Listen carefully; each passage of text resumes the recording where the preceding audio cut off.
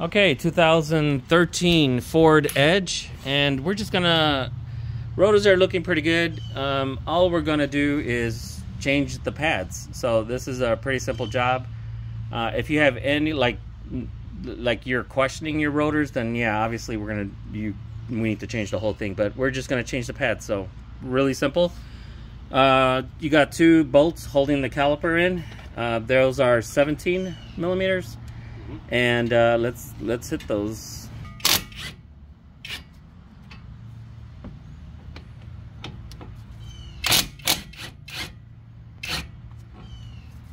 All right that's it. So take it out. And uh, we're gonna lay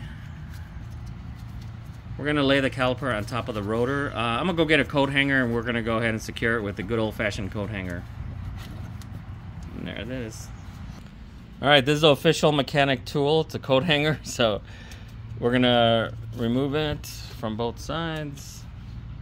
Just put it in through one of the holes, put the other one over there, and then just twist it around. And, and all we're doing is just getting it out of our way and securing it. Well, yeah, that's good enough. Eh, throw that one in there just for good luck. All right.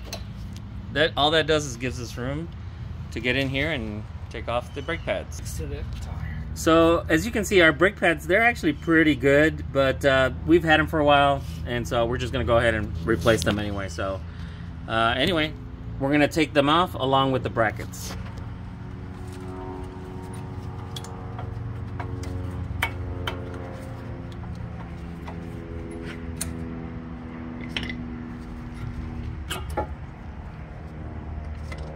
All right, now we're gonna take off those little brackets in there. Our di ours didn't come with new brackets. Sometimes they do, so we're just gonna clean them up and uh, and uh, get them back in there with some grease. So, all right, now we're gonna shoot it with uh, just some cleaner, just to you know, just get all the dust off it.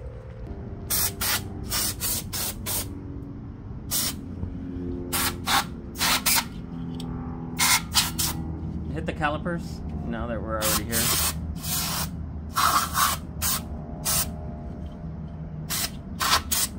Alright. You know, don't try not to breathe that in. I'm actually pretty far away and there's a nice breeze going.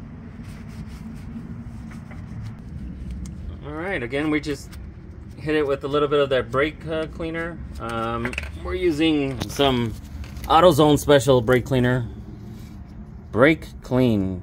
That's not English, is it? I don't know what this is. Ah. All right. And, uh, you know, just cleaning them off. Um, again, some come with new ones, but it's okay. We can reuse the old ones. Just We're just taking everything off. Then what we're going to do is we're going to put some brake grease, right? Everywhere metal touches metal. So inside here, here, here, up here, on the other side. And uh, just so as this slides, you know, in and out, it's just keeping the dust off and not making any noises. A lot of brake pad left, but, you know, it was time.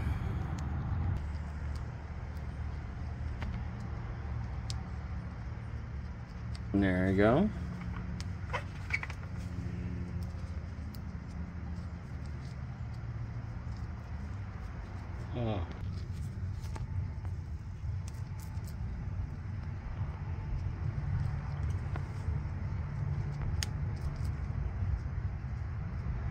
That's neat.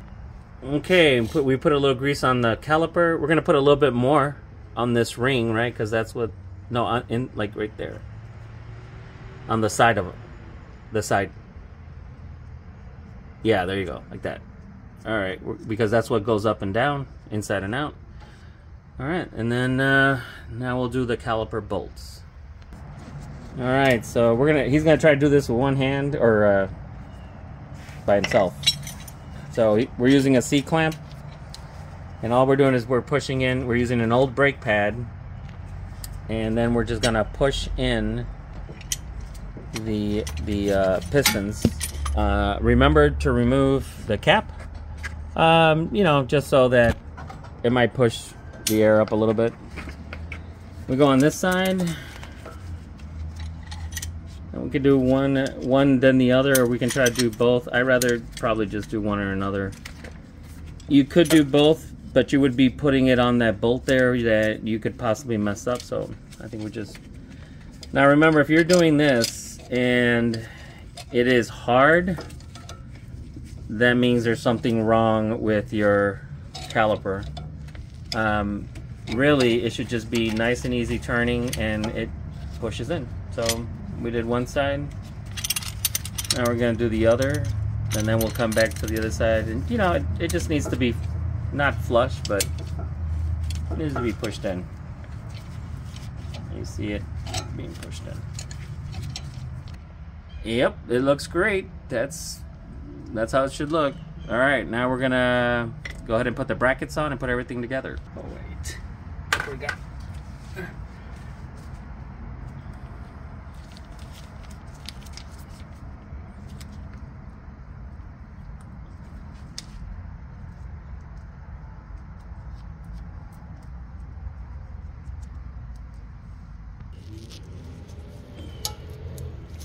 All right, so in case you're wondering how these little brackets go, they lay down on towards the the uh, inner part of the uh, rotor there.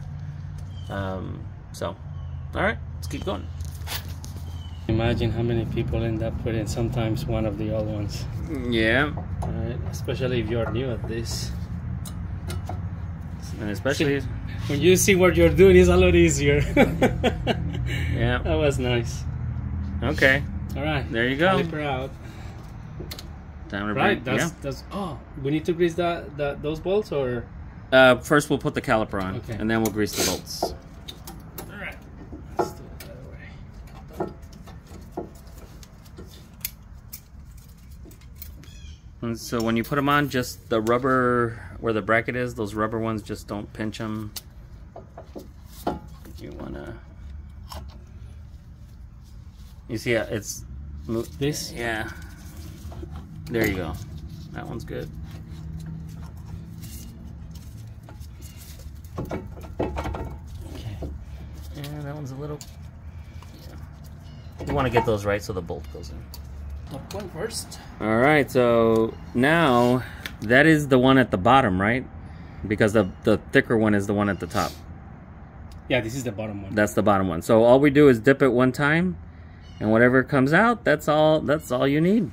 So then we'll go ahead and put it in the bottom, right? And then and then wipe off the excess.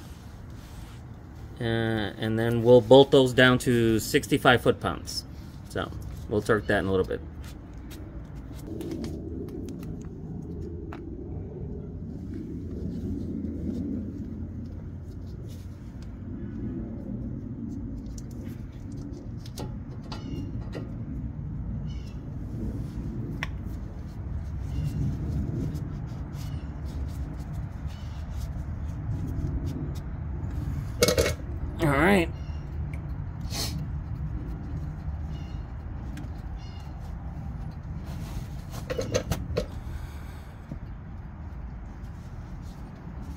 then they got a catch.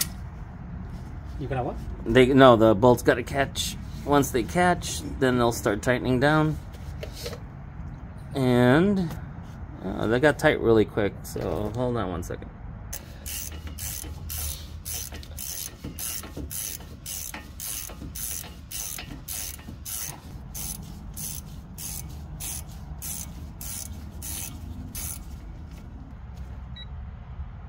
All right, we're looking for 65 foot-pounds. We got digital and analog going. A little bit. I didn't. A little more. There you Yeah. go. That's that's 65. Now, same way on the top.